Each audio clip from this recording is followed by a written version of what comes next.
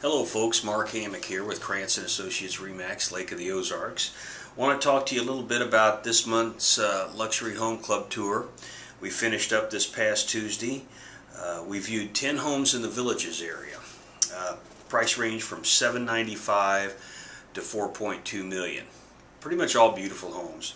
Um, the one we chose was located at 710 Brookhaven listed for $1,395,000. We felt out of the 10 that we viewed it was the best value.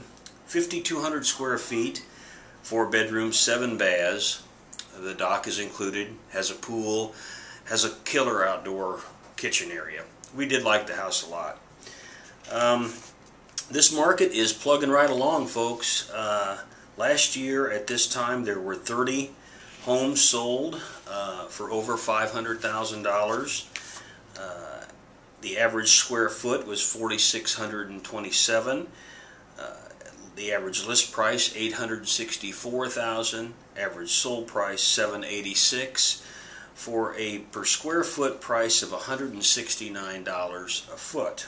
This year, 31 homes. So we're pretty much just the same right along the lines. A um, little bit different on uh, the average list price. It was down just a little bit with 802. Uh, the average sale price of 750,000. The square foot price has gone up a little, little bit to around $180 a foot.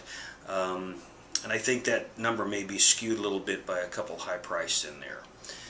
Um, the market remains good. It's a great time to be a buyer. Our team of associates uh, are, are tremendous to work with.